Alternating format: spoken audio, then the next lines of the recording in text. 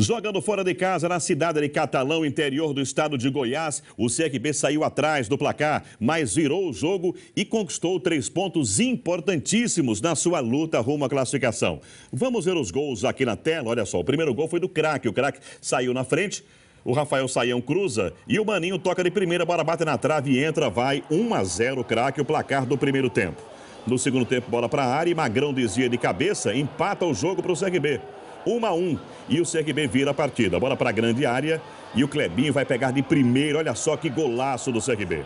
Aí, 2 a 1 placar final, o CRB consegue a grande vitória, né? O Galo chegou aos 18 pontos e agora está empatado com o Cuiabá, mas é o quinto colocado porque o Cuiabá tem melhor saldo de gols. O Galo agora volta a jogar no próximo sábado, horário novo, minha gente, às seis e meia da noite, no estádio Repelé contra o Botafogo da Paraíba. Vai ser um jogaço de bola.